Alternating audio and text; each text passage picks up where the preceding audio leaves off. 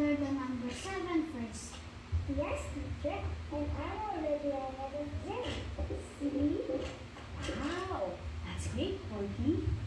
Can you tell us something you know about the number seven? It's the number that comes after six, teacher. That's right. Seven comes after six. What about you, Jim? Do you know something about the number seven?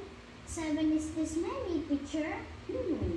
Okay, kids, let's check out Jim's fingers to see if he got it right. Are you ready? Yes! Okay. One, two, three, four, five, six, seven. You got it right. What are you doing, Joanna? I'm counting the members of my family, teacher. And I think there are seven of us. Joanna, why don't you join us? I'm going to show you how to write the number 7. It only takes two lines to do it.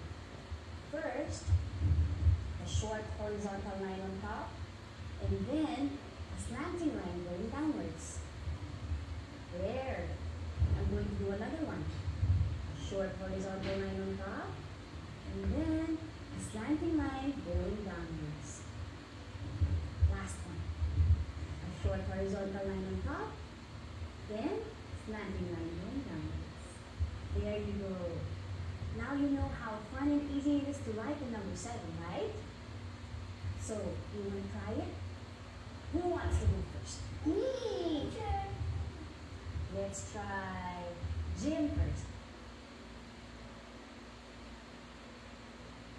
Well, there you have it. We'll be back with the number 8 as soon as Corky finishes writing down two more number 7. Corky?